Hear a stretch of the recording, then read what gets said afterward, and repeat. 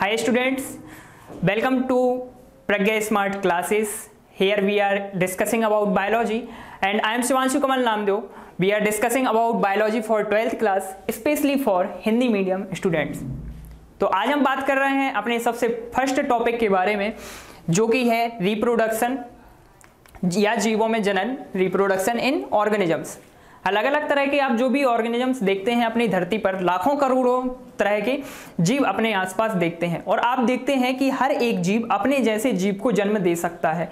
आप देखते हैं कि एक इंसान अपने जैसे बच्चे को जन्म दे सकता है। एक जो पेड़ है, उसका आप बीज ज़मीन में लगाते हैं तो उसके जैसा पेड़ बन जाता है। कोई भी जो आप जैसे कुत्ता पालते हैं तो वो छोटे छोटे पिल्लों को जन्म देता है। तो ये पूरी प्रोसेस जहाँ पर कोई भी जीव अपने समान जीवों को जन्म देता है, हम उसे क्या कहते हैं? प्रजनन कहते हैं या जनन कहते हैं? पूरे जीवों में अगर आप देखोगे तो सबसे इंपॉर्टेंट प्रोसेस है ये, क्योंकि इसके थ्रू ये अपने जैसे जीव प्रोड्यूस कर सकता है। जैसे हम देखते हैं ना कि हम फ़ोटो कॉपी कराते हैं किसी भी चीज़ की, जितनी चाहे फ़ोटो कॉपी करा सकते हैं। उसी तरह से ये क्या करता है? अपने जैसे कैरेक्टर्स की फ़ोटो कॉपी करके एक नया जीव प्रोड्यूस करता है। हालाँकि यहाँ पर पूरे 100 प्रतिशत कैरेक्टर वैसे नहीं होते हैं, जैसे कि हम फोटोकॉपी में देखते हैं। हमारे अंदर जैसे हम अपनी बात करें तो हम बिल्कुल पूरी तरह से अपने माँ बाप के जैसे नहीं देखते हैं। 100 प्रतिशत कैरेक्टर वैसे नहीं होते। लेकिन इतना है कि जैसे आप इंसान हैं तो आपका जो भी बच्चा होगा या जो भी इंसान के आने वाली जनरेशन होगी वो बिल्कुल इंसान जैसी होगी। ऐसा नहीं कि इंसान किसी प्लांट को जन्म दे दे या कोई प्लांट किसी इंसान को जन्म दे दे। कोई दूसरा जो जानवर है वो इंसान को जन्म दे दे। ऐसा नहीं हो सकता। बिल्कुल आ, मतलब जो किसी भी जाति को डिफाइन करने वाले कैरेक्टर्स होते हैं वही उसके अंदर आते हैं। ठीक है? तो ये एक छोटा सा आइडिया है। अब हम उसके बारे में बात करेंगे डिटेल में। लेकिन उस पर पहुँचने से पहले सबसे जो एक इंपॉर्टेंट हमारे पास टर्म आता है उसे हम कहते हैं जीवन अवधि तो जीवन अवधि का मतलब क्या होता है? इसको हम कहते हैं इंग्लिश में लाइफ स्पान जन्म लेता है कोई भी जीव और मृत्यु तक पहुँचता है। तो इस जन्म से मृत्यु तक की जो बीच की यात्रा है पूरी, जो ये मतलब जितना भी टाइम इंटरवल है या जो भी पीरियड है, ये क्या कहलाता है? लाइफ स्पान कहलाता है, जिसमें कई सारी चीज़ें होती हैं। वृद्धि होती है, विकास होता है, प्रजनन होता है। तो इस तरह की सारी गतिविधियाँ शामिल हैं। और हम इसकी बात क्यों कर रहे हैं? क्योंकि हमें अल्टीमेटली पहुँचना है प्रजनन तक। तो हम इसलिए जीवन अवधि की भी बात कर रहे हैं। तो जन्म से उसकी प्राकृतिक मृत्यु तक की अवधि को हम क्या कहते हैं? जीवन अवधि या लाइफ स्पान कहते हैं। अलग अलग जीवों में ये अवधि अलग अलग हो सकती है। चाहे वो पादप हो, चाहे जंतु हो, चाहे सूक्ष्म जीव हो मतलब यूनिसेल्युलर ऑर्गेनिजम्स या माइक्रो ऑर्गेनिजम्स उन सभी में ये बैरी करता है। आप देखते हैं कि कोई इंसान 100 साल तक जीता है, कोई इंसान 70 साल तक जीता है तो ये डिपेंड करता है कि उसकी बॉडी की स्ट्रक्चर कैसी है, वो एनवायरमेंट से किस तरह से संबंधित है, वो पर्यावरण से किस तरह से अनुकूलन कर पा रहा है। किसी प्लांट को आप देखेंगे तो उसकी एज अलग अलग होती है। इसके बेसिस पर प्लांट तीन टाइप के होते हैं, जैसे कि एक वर्षीय पौधे होते हैं दुई वर्षीय पौधे होते हैं, बहुवर्षीय पौधे होते हैं। एक वर्षीय पौधे की आप बात करें, जैसे कि तुलसी है जो हमारे आंगनों में लगी रहती है। जैसे बहुवर्षीय पौधों की आप बात करेंगे तो क्या आएँगे? बरगद, पीपल, आम, ये सारे प्लांट्स यहाँ पर आएँगे। ठीक है, फिर अगर आप जीवों में और पहुँच जाओगे तो बहुत सारी वेरिएशन हम जानते हैं कि धरती पर करोड़ों तरह के जीव हैं, उनकी जातियाँ अलग अलग तरह की हैं। तो जैसे जानवरों की बात करें, अपने आसपास जो हम देखते हैं, जैसे गाय, भैंस देखते हैं 12 से 15 साल 20 साल तक ये जीती है। जैसे कोई कुत्ता है 12 साल लगभग उसकी, जिसकी एज होती है। फिर इसके अलावा जैसे हम बात करें, जो मॉस्किटो हमारे सामने घूमते रहते हैं, सात से आठ दिन है। कछुआ जैसे आप देखते हो वो लगभग डेढ़ सौ से तीन सौ साल जीता है। कोई पैरेट जैसे घर में पाले होते हैं, उसकी एज कितनी होती है? लगभग सौ से एक सौ चालीस साल तक की उसकी एज होती है। ठीक है? तो ये बहुत कम से बहुत ज़्यादा तक भी हो सकता है। दिनों या घंटों से लेकर कई सालों तक। लगभग अगर आप प्लांट्स में बात करें तो 3000 साल तक की जीवन अवधि होती है। सुकोया नाम का जो ट्री है, वो उसकी ये जो मतलब जीवन अवधि, वो तीन हज़ार साल तक की हो सकती है। तो अलग अलग तरह के यहाँ पर आप कैरेक्टर देख सकते हो और एक बहुत लंबी वेरिएशन देख सकते हो यहाँ पर। जन्म प्रजनन जन्म या जैसे हम प्रजनन भी कह सकते हैं रिप्रोडक्शन तो रिप्रोडक्शन इंग्लिश के दो वर्डों से मिलकर बना है री एंड प्रोडक्शन और हिंदी में अगर बात करें, प्रजनन प्रा एंड जनन। तो अपने जैसे जीवों को उत्पन्न करने की क्षमता क्या कहलाती है? रिप्रोडक्शन टू प्रोड्यूस अगेन जैसे हम एक जीव है और हम अपने जैसा एक नया जीव अगर प्रोड्यूस कर पा रहे हैं तो ये क्या है? हम दोनों के बीच के जो भी कैरेक्टर हुआ है, ये क्या है? प्रजनन है। ठीक है? तो अपने जैसे जीव को जन्म कर पाने की क्षमता प्रजनन कहलाती है, जो अपनी निरंतरता बनाए रखने में मदद करती है। अगर इंसान या जो आदि मानव है, उसमें प्रजनन नहीं होता तो आज की जनरेशन कैसे पैदा होती। मतलब लाखों साल से हम देख रहे हैं कि इंसान है, इंसान का अस्तित्व बना रहे, बना हुआ है लाखों साल से और आगे भी बना रहेगा तो ये किस चीज़ के कारण है? प्रजनन के कारण। अगर ये ना होता तो जो आदि मानव पैदा हुआ, वो मर जाता और कोई नया जीव नहीं आ पाता। कोई भी जैसे प्लांट है, उसका अगर सीड फॉर्म नहीं होता मतलब बीज नहीं बनता तो उससे नया प्लांट नहीं बन पाता। या किसी भी ऑर्गेनिज्म को आप ले लो। तो निरंतरता बनाए रखने के लिए ये ज़रूरी है। जैसे हम अर्थ की बात कर रहे हैं, अपनी जो धरती, हमारा जो ग्रह है, लाखों करोड़ों साल से ये फल फूल रहा है जीवों के मामले में। तो ये किस कारण से है? क्योंकि उनमें एक निरंतरता बनी हुई है प्रजनन के कारण। जब भी जीव विकसित हो जाता है तो वो प्रजनन करके एक नया जीव बना देता है और फिर वो मृत्यु को प्राप्त होता है कि अगर जैसे वो उसकी मौत हो भी गई तो उसके बाद एक श्रृंखला बनी रहेगी और आगे जीव विकसित होते जाएँगे। तो ये क्या कहलाता है? प्रजनन कहलाता है। फिर इसके बाद है कि जो भी हम देख रहे हैं अपने आसपास, वहाँ पर प्रजनन की भूमिका क्या है? पूरे इस जीव जगत में प्रजनन की क्या भूमिका है? अगर ना हो प्रजनन तो क्या हो सकता है? तो सबसे पहली बात तो हम कर ही चुके हैं प्रजाति की निरंतरता। अगर प्रजाति को आपको निरंतर बनाए रखना है। आप चाहते हैं कि एक प्रजाति करोड़ों साल या हज़ारों लाखों साल तक जीवित रहे तो वहाँ पर प्रजनन होना चाहिए। अगर प्रजनन नहीं होगा तो जीव का अस्तित्व तो खत्म हो जाएगा। मान लो जैसे हमारी सत्तर साल की एज है और सत्तर साल तक प्रजनन नहीं होता है तो एक आगे कोई भी जीव नहीं आ पाएगा और आगे जीव नहीं आ पाएगा मतलब वहाँ से पूरे अवसर खत्म हो जाएँगे कि वो जाति आगे बढ़ सके। फिर इसके बाद क्या है? जैव विकास। आप आज के समय में देखते हो कर, लाखों टाइप के प्लांट्स हैं लाखों टाइप के एनिमल्स हैं लाखों टाइप के माइक्रो ऑर्गेनिजम्स हैं मतलब सूक्ष्म जीव हैं। तो ये एक ब्रॉड कैटेगरी कहाँ से डेवलप हुई है? ये डेवलप हुई है प्रजनन के कारण। जैसे हम कहते हैं कि जो इंसान है उसका डेवलपमेंट कहाँ से हुआ है? उसका डेवलपमेंट हुआ है चिंपेंजी से। जैसे हम बात करते हैं कि जो मैमल्स हैं, वो कहाँ से डेवलप होके आए हैं? वो रेप्टाइल्स से डेवलप होके आए हैं। रेप्टाइल्स हैं जो एम्फीबिया से डेवलप होके आए हैं। वो और मतलब और आपकी बिल्कुल सबसे स्टार्टिंग पॉइंट क्या है? यूनिसेल्युलर ऑर्गेनिज्म से आप इतना डेवलप होके आगे तक आए हो। मतलब आपने विकास किया है। ठीक है? तो ये किसके कारण हुआ है? प्रजनन के कारण हुआ है। अब प्रजनन से कैसे हुआ है? प्रजनन से ऐसे हुआ है कि जब भी प्रजनन होता है तो नए कैरेक्टर्स आते हैं। मेनली जब हम बात करते हैं लैंगिक प्रजनन के बारे में। जब भी लैंगिक प्रजनन होता है तो नए नए गुण किसी भी जीव में आते हैं। और जिसके कारण वो नए नए वातावरण में रह सकता है नए नए तरह की चीज़ें अपने अंदर अडेप्ट करता है और जिसके कारण वो विकास को प्राप्त होता है। फिर इसके बाद पारिस्थितिक साम्य अलग अलग तरह के ऑर्गेनिजम्स हैं और सभी के बीच में एक रिलेशन है। सभी के बीच में एक साझा संबंध है। वो चाहे रहने के लिए हो सकता है, जगह को लेकर हो सकता है, वो खाने को लेकर हो सकता है, वो उनके बीच में एक प्रतिस्पर्धा भी हो सकती है। लेकिन इन सभी चीज़ों के कारण पर्यावरण में एक बैलेंस बना रहता है, जिसकी हमारे लिए सख्त ज़रूरत होती है। जैसे आप देखते हैं कि मान लो कोई छिपकली है तो वो किसी कीड़े को खा जाती है, ठीक? कोई चिड़िया है जो, वो किसी दूसरे इंसेक्ट को खा जाती है, जो जैसे कि गाय है, वो घास खाती है, जो हम हैं तो हमें प्लांट से जो भी प्रोडक्ट मिलता है, हम उसको कंज्यूम करते हैं। तो यहाँ से पारिस्थितिक साम्य बना हुआ है। मान लो ये सारी चीज़ें खत्म हो जाए। जैसे गाय घास खाना छोड़ दे तो क्या होगा कि घास अपने आप बढ़ती जाएगी। जैसे हम हैं, हम प्लांट्स खाना छोड़ दें तो प्लांट्स एक बहुत बड़ी रेंज में फैल जाएँगे। ठीक है? अगर मान लो छिपकली, कीड़े खाना बंद कर दे तो क्या होगा? इंसेक्ट की बहुत बड़ी जनरेशन क्रिएट हो जाएगी, जिससे हमें प्रॉब्लम हो जाएगी।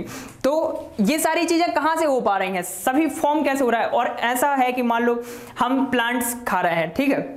और हम इसको लगातार कंज्यूम करते जा रहे हैं, और प्लांट उसे आगे नहीं बढ़ा रहा है। नए सीड प्रोड्यूस नहीं कर रहा है, नए प्लांट्स नहीं बना रहा है। तो क्या होगा कि एक टाइम पर वो सारे प्लांट्स खत्म हो जाएँगे। और अब हमारे पास क्या है? हमारे पास कोई फ़ूड सोर्स भी नहीं बचा है। तो आप देख रहे हैं मतलब प्लांट्स प्रजनन कर पा रहे हैं, तब हमें फ़ूड मिल पा रहा है। तो हम सभी के बीच में एक संबंध है, और वो संबंध किसके द्वारा स्थापित किया जा रहा है? प्रजनन के द्वारा स्थापित किया जा रहा है। फिर इसके बाद खाद्य सुरक्षा, वही जो खाद्य सुरक्षा की बात कर चुके हैं कि अगर कोई भी जीव प्रजनन नहीं करेगा तो खाद्य संसाधनों की कमी हो जाएगी, खाद्य संसाधनों की कमी हो जाएगी तो जातियों के बीच में प्रतिस्पर्धा बढ़ जाएगी। जैसे मान लो, आपके पास पहले दस चीज़ें हैं और आपके पास दस लोग हैं तो आप क्या करोगे? एक एक चीज़ दस लोगों में दे दोगे। फिर हम कह रहे हैं कि प्रजनन हो ही नहीं रहा है तो वो दस से घट के पाँच हो गई अब आपको वो पाँच को दस में बांटना है तो अब आप क्या कर दोगे? आधा आधा कर दोगे। लेकिन वो और कम हो गई। अब वो बची सिर्फ़ एक और। लोग कितने हैं? दस हैं। तो अब आप उसे कैसे बांटोगे? तो क्या है? यहाँ पे आप देख रहे हो खाद्य सुरक्षा। अगर प्रजनन नहीं होगा तो चीज़ों की कमी होती जाएगी और चीज़ों की कमी होती जाएगी। तो जैसे वो एक बचा है, दस लोग आपस में लड़ेंगे। अब उसमें से जो बेस्ट होगा, वो ले जाएगा उसे। तो इस तरह की समस्याएँ पैदा हो सकती हैं। अगर प्रजनन नहीं हो पाएगा, तब। अब हम इसके बारे में बात करेंगे कि जो प्रजनन है, वो कितने टाइप का हो सकता है, कौन से प्रजनन की क्या खासियत है, उसके बारे में हम डिटेल में बात करेंगे। लेकिन हम सबसे पहले देखते हैं कि प्रजनन के प्रकार कितने होते हैं। किस आधार पर उसे हमने विभाजित किया है? उससे पहले एक और चीज़, जो पूरी हम लाइफ साइकिल की बात कर रहे थे लाइफ स्पान के बारे में, जन्म से प्रारंभ होता है, सबसे जो फ़र्स्ट स्टेप है, वो क्या है? जन्म। पहले धरती पर आएगा कोई भी जीव, उसमें वृद्धि होगी। वृद्धि और विकास, दो चीज़ें आती हैं यहाँ पर ग्रोथ एंड डेवलपमेंट ठीक है? ग्रोथ एंड डेवलपमेंट मतलब वृद्धि और विकास, दो अलग अलग चीज़ें हैं। कि जैसे हम जब एक साल के थे। तो हमारी हाइट कुछ अलग थी, हमारी हेल्थ अलग थी। हमारे अंदर के जो कैरेक्टर्स थे वो अलग हैं। आज जब हम 21-22 साल के हैं तो क्या है कि हमारे अंदर कई तरह के विकास हो चुके हैं, कई तरह के कैरेक्टर्स डेवलप हो चुके हैं। हमारी साइज़ बढ़ चुकी है, हमारी बियर्ड आ चुकी है हेयर्स बढ़ चुके हैं। तो देख रहे हैं हम वृद्धि हो चुकी है मतलब। विकास कैसे जब कोई एक साल का बच्चा था, वो बोलना नहीं सीखता, बोल बोल नहीं पाता था, वो चल नहीं पाता था, वो किसी तरह का काम नहीं कर पाता था। लेकिन धीरे धीरे बच्चा जब बड़ा होता है तो वो क्या कर पाता है? सारी चीज़ें कर पाता है। वो लिख सकता है, वो पढ़ सकता है तो मतलब दिमाग का विकास होता है, शारीरिक विकास होता है, ये सारी चीज़ें विकसित होती हैं। फिर इसके बाद वो एक ऐसी एज पर पहुँचता है, जहाँ पर वो खुद एक नए जीव को जन्म दे सकता है, जिसे हम कहते हैं प्रजनन। तो वृद्धि और विकास करते हुए वो कहाँ पर पहुँच जाता है? प्रजनन करने की अवस्था पर पहुँच जाता है। हर एक जीव में ये दौर अलग अलग होता है कि कब वो प्रजनन के लायक होगा। जैसे अगर हम इंसान में ही बात करें तो मेल और फीमेल इन दोनों में ये बिल्कुल अलग अलग होता है कि मेल की मैच्योरेशन पीरियड अलग होती है, फीमेल की अलग होती है। जो मेल है वो लगभग 18 साल में प्रजनन के योग्य होता है और जो फीमेल है वो लगभग 14-15 साल की एज में और ज़्यादा से ज़्यादा कभी कभी सत्रह साल की एज में। फिर इसके बाद जब वो प्रजनन कर चुका होता है, नए जीवों को बना चुका होता है तो धीरे धीरे उसकी जो बॉडी है या जो उसका शरीर है, उसमें नकारात्मक परिवर्तन होते रहते हैं। मतलब नेगेटिव चेंजेस, जैसे कि क्या होता है, बाल झड़ने लगते हैं, एजिंग होने लगती है, जो स्किन है वो मतलब पुरानी होने लगती है, जो टेस्ट ग्लैंड है, आपको कुछ समझ नहीं आता, दिखाई नहीं देता है, सुनाई नहीं देता है। तो ये सारी चीज़ें हैं, जिसके कारण जब पूरी बॉडी पूरी तरह से शिथिल हो चुकी है तो अब क्या होगा? जीव की मृत्यु होगी। तो इस तरह से एक जीव की पूरी लाइफ साइकिल कंप्लीट होती है, जैसे लाइफ स्पान कहते हैं, या जैसे हम जीवन चक्र कहते हैं। ठीक है? अब हम बात करेंगे प्रजनन के बारे में। तो दो प्रकार के प्रजनन होते हैं, अलैंगिक और लैंगिक प्रजनन, जैसे कि आप लोग इसके बारे में सुन चुके होंगे। तो प्रजनन के मेनली दो प्रकार हैं। एक है अलैंगिक प्रजनन और एक होता है लैंगिक प्रजनन। किस बेसिस पर? कि किसी भी जीव को बनाने वाले जनक कितने थे या पेरेंट्स कितने थे? अगर एक पेरेंट सिंगल पेरेंट के द्वारा एक जीव का निर्माण हो रहा है तो उसे हम क्या कहेंगे? अलैंगिक जनन कहेंगे। और लैंगिक जनन जब दो जीव मिलकर एक नए जीव का निर्माण करते हैं, तब हम उसे क्या कहते हैं? लैंगिक जनन या सेक्सुअल रिप्रोडक्शन कहते हैं, ठीक है? तो पेरेंट्स के नंबर के आधार पर रिप्रोडक्शन दो तरह का होता है, अलैंगिक प्रजनन या एसेक्सुअल रिप्रोडक्शन और लैंगिक प्रजनन मतलब सेक्सुअल रिप्रोडक्शन अब यहाँ पर हम एक और बात यहीं पर कर लेते हैं कि अलैंगिक जनन में किसी भी तरह की विभेदित कोशिकाएँ नहीं होती हैं। मतलब किसी भी तरह की लैंगिक कोशिकाओं के द्वारा नए जीव का निर्माण नहीं होता है, कोई special type of cells form नहीं होती हैं। बॉडी की किसी भी सेल से नए ऑर्गेनिज्म का फॉर्मेशन हो सकता है, लेकिन लैंगिक जनन में ऐसा नहीं होता है।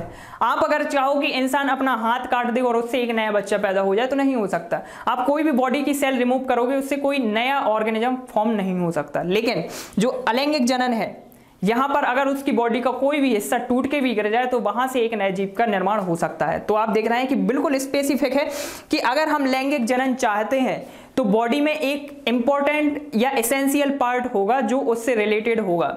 उस पार्ट के अलावा कहीं से भी एक नए जीव का निर्माण नहीं हो सकता है। तो वो सेल्स जिसके द्वारा नए जीवों का निर्माण होता है, वो लैंगिक सेल्स उन्हें हम क्या कहते हैं? गैमिट्स कहते हैं, जब हम बात करते हैं सेक्सुअल रिप्रोडक्शन की। इस सब के बारे में हम डीप में चर्चा करेंगे, लेकिन यहाँ पर एक ओवरव्यू देना ज़रूरी है। तो अब हम अगर आगे बढ़े तो हमारे सामने आती है अलैंगिक जनन। जैसा कि हम बता चुके हैं कि अलैंगिक जनन क्या होता है, जहाँ पर सिर्फ़ एक ही जो पेरेंट है, वो इन्वॉल्व होता है और इससे एक नए जीव का निर्माण होता है। और यहाँ एक खासियत ये है कि जो भी ऑफ़ स्प्रिंग बनेगी, जो भी संतति होती है, उसे हम क्या कहते हैं? ऑफ़ स्प्रिंग कहते हैं। जो भी संतति होगी, वो अपने बिल्कुल पेरेंट्स से एकदम सिमिलर होगी आप चाहे उसे बाहर से देखें या उसके अंदर की जो भी स्ट्रक्चर होगी, वो बिल्कुल एक जैसी होगी। मतलब आकारिकी रूप से और आनुवांशिक रूप से। ठीक है? आनुवांशिक रूप से मतलब जो पेरेंट्स के कैरेक्टर को आगे लेके जाते हैं, वो क्या कहलाती है? आनुवांशिकता कहलाती है।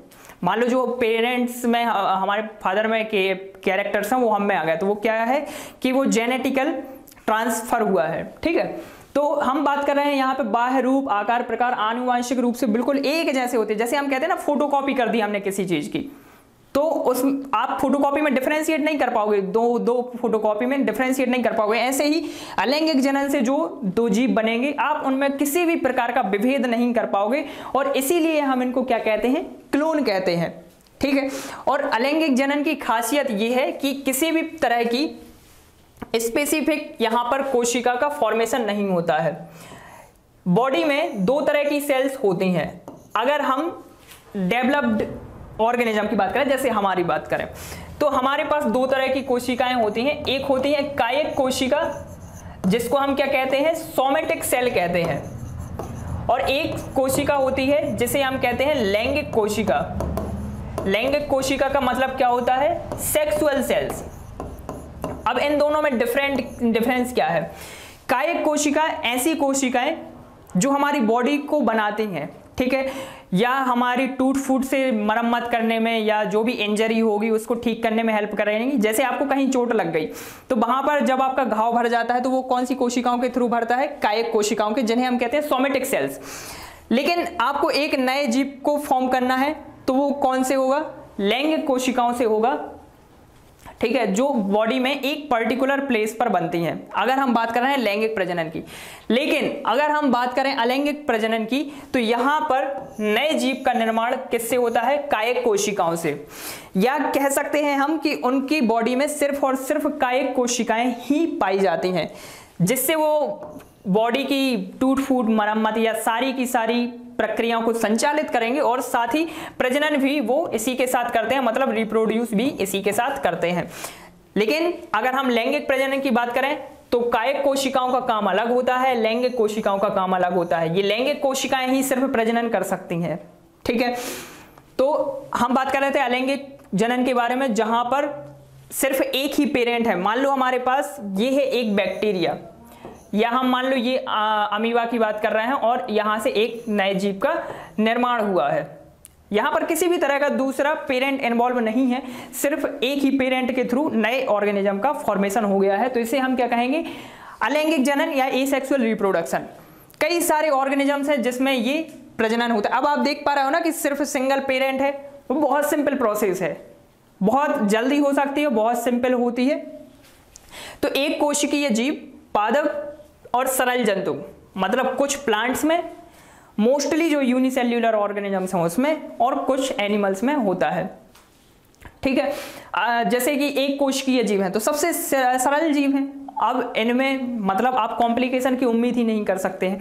तो यहाँ पर सिर्फ़ एक कोशिका के थ्रू ही नए ऑर्गेनिज्म का फॉर्मेशन हो जाता है, जिसे हम कहते हैं अलैंगिक जनन। और इसी कारण से ये बिल्कुल एक जैसी होती हैं। ठीक है? तो जैसे अगर हम बात करें अमीबा के बारे में बात कर रहे हैं। यहाँ पर एक डायग्राम बना हुआ है अमीबा का, जिससे आप बहुत ज़्यादा परिचित होंगे। एक कोशिकीय जीव होता है ये, और इसकी कोशिका का यहाँ पे चित्र बना हुआ है। दो चीज़ें हैं यहाँ पे, न्यूक्लियस, जिसे हम कहते हैं केंद्रक, किसी भी कोशिका का सबसे महत्वपूर्ण भाग। और उसके चारों तरफ़ जो लिक्विड सब्सटेंस भरा होता है, जो आधारभूत द्रव्य है, वो क्या है? साइटोप्लाज्म कहलाता है। अब यहाँ पे अलैंगिक जनन। यहाँ पे देख रहे हैं ना आप, किसी भी तरह का दूसरा पेरेंट इन्वॉल्व नहीं है, सिर्फ़ एक कोशिका है। और यही केंद्रक विभाजन के द्वारा क्या कर रही है? दो अलग अलग संततियों का निर्माण या ऑफ़ स्प्रिंग का निर्माण या प्रोजेनी का निर्माण कर रही है। दोनों के बाजू में यहाँ पे लिखा भी हुआ है, क्या है? डॉटर्स है। अब आप देख पा रहे हैं कि दोनों एक दूसरे से बिल्कुल सिमिलर होते हैं। अब यहाँ पर आपका एक प्रश्न हो सकता है कि ये बिल्कुल बाहर से एक जैसे नहीं दिख रहे हैं। तो अमीवा का शेप ही ऐसा होता है अमीवा का इरेगुलर शेप होता है मतलब उसका कोई शेप नहीं होता। वो किसी भी तरह के शेप में ढल सकता है। इसलिए ये दोनों थोड़े शेप में बस डिफरेंट दिख रहा है। बाकी इनके अंदर जो भी जेनेटिकल स्ट्रक्चर्स हैं वो एक जैसी हैं दोनों एक दूसरे के क्लोन हैं। जिस तरह की अनुवांशिक संरचना इसके पास है उसी तरह की दूसरे के पास है। ठीक है? फिर इसके बाद कई तरह के और ऑर्गेनिजम्स जैसे पैरामीशियम है या यूगलिना है या ईस्ट है इन सभी में आ, मतलब और कैटेगरी बनाए अगर हम तो एलगी हो सकते हैं जिन्हें हम शवाल कहते हैं बैक्टीरिया जिन्हें जीवाणु कहते हैं, वायरस, इन सभी में अलैंगिक जनन के द्वारा प्रजनन होता है, ठीक है? तो यहाँ पर हम फिर बात कर रहे हैं लैंगिक जनन के बारे में, कि लैंगिक जनन क्या होता है? तो लैंगिक जनन का सीधा सा मतलब है कि जहाँ पर दो पेरेंट्स इन्वॉल्व होते हैं और एक नए जीव का निर्माण करते हैं, वो कहलाता है लैंगिक जनन।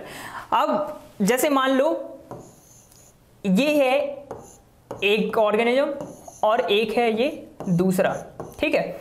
अब इसके इनको देख के ही आप समझ जाओगे। एक है मेल और एक है फीमेल, ठीक है? तो मेल के कैरेक्टर अलग है, फीमेल के कैरेक्टर अलग हैं। कोई लड़की है, वो बिल्कुल दिखने में अलग है, उसका रूप, रंग, आकार सब अलग है। कोई लड़का है जो दिखने में बिल्कुल अलग है, दोनों एक दूसरे से बिल्कुल डिफरेंट है। लेकिन इनके बीच में जब मतलब कपुलेशन होगा और ये एक नए ऑर्गेनिज्म को फॉर्म करेंगे या एक नए जीव को फॉर्म करेंगे तो क्या होगा कि उसमें लड़की के कैरेक्टर भी आएँगे और उसमें लड़के के कैरेक्टर भी आएँगे। ठीक है? यहाँ से जो कोशिका आई, अभी हमने बताया था ना कि इनमें लैंगिक कोशिकाएँ बनती हैं और उसी के द्वारा प्रजनन होता है। तो मेल में एक लैंगिक कोशिका बनी, जिसका आपने नाम सुना होगा, जिसे हम कहते हैं स्पर्म या शुक्राणु कहते हैं। उसी तरह से फीमेल में भी एक कोशिका बनेगी, जिसे हम क्या कहते हैं? अंडाणु कहते हैं या उसे ओवम कहते हैं। तो यहाँ पे स्पर्म का फॉर्मेशन हुआ और यहाँ पर ओवम का फॉर्मेशन हुआ। और अब ये दोनों आके जुड़ जाएँगे। और दोनों जुड़ के क्या बनाएँगे? एक नई सेल बनाएँगे, जिसे हम कहते हैं जाइगोट जीवन की फ़र्स्ट सेल ये आगे जाके आठ नौ महीने तक डेवलप होगा और क्या बनाएगा? एक छोटा सा ऑर्गेनिज्म बनाता है। ठीक है? ये एक छोटा सा ऑर्गेनिज्म बनाया है उसने, जैसे हम क्या कह सकते हैं, एम्ब्रियो, और आगे जाके ये फीटस के फॉर्म में डेवलप होता है। तो उसमें अब लड़के के कैरेक्टर भी होंगे और उसमें लड़की के कैरेक्टर भी होंगे। तो लैंगिक जनन की ये खासियत है कि एक तो ये दो पेरेंट से होता है मतलब दो जनक इसमें पार्टिसिपेट करते हैं। इसमें विशिष्ट तरह की कोशिकाएँ बनती हैं, जिनको हम क्या कहते हैं, युग्मक कहते हैं या गैमिट कहते हैं। जैसे आप ये दो सेल देख रहे हैं ना, एक ये हमने स्पर्म बनाया हुआ है, ये और ये ओवम बनाया हुआ है। इन्हें हम क्या कहते हैं, गैमिट कहते हैं। हिंदी में इसको क्या कहा जाता है? युग्मक कहा जाता है। ठीक है? तो ये दोनों युग्मक आएँगे और आपस में जुड़ जाएँगे। ये यहाँ पे जुड़ गए। इनके जुड़ने की प्रोसेस को हम क्या कहते हैं? निषेचन कहते हैं, जिसका इंग्लिश नाम क्या है? फ्यूजन या फर्टिलाइजेशन ठीक है? ये जुड़ने के बाद एक नई कोशिका बनाएँगे, जिसे जीवन की प्रथम कोशिका कहा जाएगा और ये आगे जाके एक नए जीव का निर्माण करेंगे। इसके उदाहरण कौन कौन से होते हैं? उत्पादक व जंतु जगत। अब उत्पादक का मतलब क्या होता है? प्रोड्यूसर जैसे हम कहा जाता है। प्रोड्यूसर कह सकते हैं। अब प्रोड्यूसर का मतलब क्या है? दुनिया में जो सारी चीज़ों को प्रोड्यूस कर रहा है, वो प्रोड्यूसर है। सारी चीज़ें मतलब फ़ूड से रिलेटेड। तो प्लांट्स क्या कर रहे हैं कि सभी को फ़ूड प्रोवाइड कराने का काम करते हैं, डायरेक्टली और इनडायरेक्टली। कोई भी आप जैसे जानवर की भी बात करें, जो मांसाहारी है तो वो भी अप्रत्यक्ष रूप से किस पर निर्भर है? वो प्लांट पर निर्भर है। जैसे कि मान लो कोई शेर है, उसने किसी गाय को खा लिया तो उस गाय के पास खाना कहाँ से आता था? उसके पास आता था प्लांट से। तो जो भी न्यूट्रिएंट्स उसमें डेवलप हुए हैं, वो कहाँ से आए हैं? प्लांट से आए हैं। और उसी को अब किसने ले लिया है? लॉयन ने ले लिया है। ठीक है? तो इसलिए हम इनको क्या कहते हैं? प्रोड्यूसर कहते हैं, क्योंकि पूरे वर्ल्ड के लिए एक बेस प्रोवाइड कराते हैं फ़ूड का। तो यहाँ पर लैंगिक जनन में प्लांट्स आएँगे। पूरे प्लांट्स तो नहीं आएँगे, लेकिन जो हायर प्लांट्स हैं, जो अच्छी तरह से डेवलप हो चुके हैं। ठीक है? प्लांट्स जो हायर कैटेगरी के होंगे और ऐसे प्लांट्स जो लोअर कैटेगरी के होंगे, उनमें एसेक्सुअल रिप्रोडक्शन पाया जाता है। जैसे कि हमने बात की थी, अभी शैवालों के बारे में ही बात की थी। ग्रीन एलगी कहते हैं, रेड एलगी, ब्राउन एलगी, ये जो सारी चीज़ें आती हैं उसमें। तो इसके अलावा जंतु जगत, जो एनिमल्स आप देख रहे हो, इन सभी में लैंगिक जनन होता है एनिमल्स भी हायर कैटेगरी के। ठीक है? कुछ लोअर कैटेगरी के होते हैं एनिमल्स जैसे कि हम बात करें हाइड्रा के बारे में बात करें हम। तो हाइड्रा क्या करता है? वो एसेक्सुअल रिप्रोडक्शन करता है, लेकिन वो है तो एनिमल तो हम क्या बात कर रहे हैं कि जो हायर ऑर्गेनिजम्स होंगे या जो हायर एनिमल्स होंगे, उनमें सेक्सुअल रिप्रोडक्शन प्रेजेंट होता है। ठीक है? अब यहाँ पे जैसे हम अभी बात कर रहे थे जो, वो आपको सामने डायग्राम के फॉर्म में दिख रही है। हमने बात की थी कि एक मेल है और एक फीमेल है तो ये फीमेल है और ये है मेल। तो यहाँ से एग फॉर्म हुआ और यहाँ से स्पर्म फॉर्म हुए, दोनों फ्यूज हुए और इनने क्या बनाया? जाइगोट जिसके पास 46 क्रोमोसोम्स हैं। ठीक है, हम जानते हैं कि एक कोशिका में 46 क्रोमोसोम होते हैं और ये 23 पेयर में। मतलब जैसे कहते हैं ना, एक जोड़ी जूते में कितने होते हैं? दो होते हैं। तो उसी तरह से एक पेयर में दो क्रोमोसोम होते हैं। 23 पेयर है मतलब 46 क्रोमोसोम होंगे। ये आगे चल के डेवलप होगा और क्या बनाएगा? एम्ब्रियो बनाएगा, जिसे हम कहते हैं भ्रूण। ठीक है? अगर ह्यूमन में सेक्सुअल रिप्रोडक्शन की बात करें या लैंगिक प्रजनन की बात करें तो यहाँ पर दो अलग अलग तरह की कोशिकाएँ बनती हैं, जिन्हें हम लैंगिक कोशिकाएँ कहते हैं। जो नर में कोशिका निर्मित होती है, उसे क्या कहते हैं? स्पर्म कहते हैं। और जो मादा में कोशिकाएँ निर्मित होती हैं या जो फीमेल में कोशिकाएँ निर्मित होती हैं, उन्हें क्या कहते हैं? उन्हें हम कहते हैं ओवम जब ये दोनों मिलती हैं आपस में तो जुड़ के क्या बनाती हैं? फ्यूज होती हैं, जिसे हम क्या कहते हैं? जाइगोट कहते हैं, जीवन की फ़र्स्ट कोशिका युग्मनज जिसे कहा जाता है। ये आगे जाके और डिवाइड होती है और नौ महीने के बाद एक नए बच्चे को जन्म देती है। तो इस तरह से लैंगिक प्रजनन होता है ह्यूमन में। इसके बारे में हम डिटेल में बात करेंगे अपने अगले चैप्टर्स में। आ, अगर बात करें प्लांट्स की तो प्लांट्स में सेक्सुअल रिप्रोडक्शन करने वाला ऑर्गन कौन सा होता है? या लैंगिक प्रजनन करने वाला अंग जो है वो पुष्प होता है जिसे हम फ्लावर कहते हैं। यहाँ पर अलग अलग तरह की संरचनाएँ हैं जो मेल और फीमेल गैमीट बनाने का काम करेंगी। जो नर और मादा युग्मक हैं, वो अलग अलग अंगों के द्वारा बनाए जाते हैं। जैसे यहाँ पर आप देखेंगे, जिसे स्त्री केसर कहा जाता है, यहाँ से फीमेल गैमीट का फॉर्मेशन होता है एग के फॉर्म में मतलब अंड कोशिका के फॉर्म में।